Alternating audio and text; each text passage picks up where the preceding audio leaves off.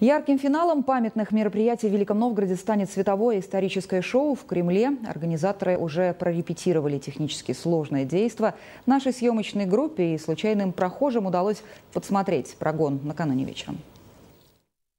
22 июня 1941 года. День, который изменил нас навсегда. Великий Новгород вошел в число семи российских городов, где завершением торжеств станет грандиозное световое шоу. Для каждого создатели подготовили свою инсталляцию, вписав ее в архитектуру здания, которое станет полотном для проекции. В нашем случае это Софийский собор. Этим вечером на фасаде почти пять минут будут сменять друг друга графические коллажи и фотографии, рассказывающие о том, какой ценой был завоеван мир на планете. Генеральный прогон шоу накануне вечером позволил случайным прохожим уже увидеть и оценить его масштаб.